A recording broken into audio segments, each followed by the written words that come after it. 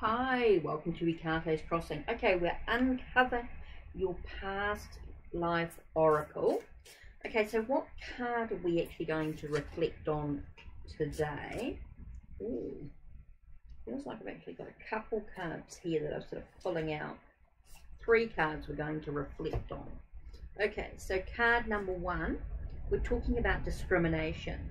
So maybe at this time and for some reason, now, it could be a, for a religious reason, it could be a social reason, a sexual reason, um, maybe to do with limitations or um, an illness in some way or disease.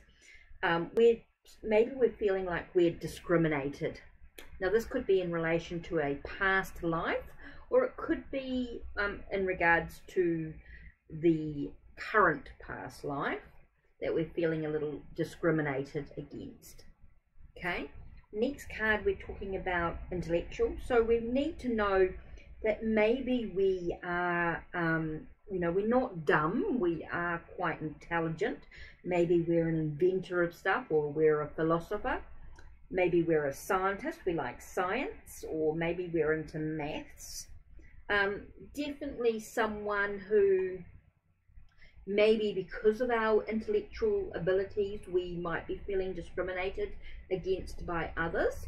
And the last one could be about extraterrestrial. So it could be talking about um, maybe from another world in some way. So it does say early earth dweller close encounter off-worlder or watcher or guardian. So an extraterrestrial. So it does feel maybe we're feeling a little alien about the whole situation as well. When I'm looking at sort of what these three cards sort of mean together, maybe we're feeling a little, um, because of our intellectuality, so maybe because of our, um, um, our interests, and we might be feeling a little alien, a little outside of this world sort of feeling, and so we're feeling discriminated by others in some way. So let's have a look um, at the book for further information. So let's have a look here. So we're looking at discrimination first. Let's have a look here. So let's look at discrimination. Because that was the first card we sort of pulled out. Let's have a look. So if we're talking about, I'm just looking at overall. So maybe in a past life you may have endured discrimination due to being part of a particular social class, race.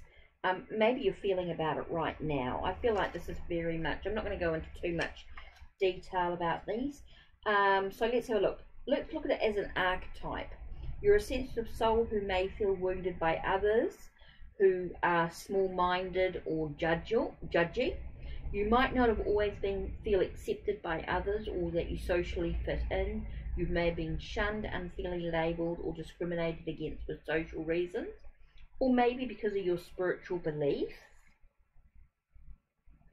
Um, yeah, definitely feels like um, by others due to their own personal weakness or limitation. Ah, or it could be to do with your gender or your sexuality at this time. So yeah, exactly what I said. I'm not going to go into too much detail with the book because I think I've sort of really covered in what I'm sort of thinking about and what this means right now for maybe you or someone close to you um, in this way. Anyway, so that's it from me. Don't forget to check the links below. Check the links on my channel. Like, subscribe, like, subscribe, and ring the bell so you know when the next video will be uploaded. Take care and blessed be.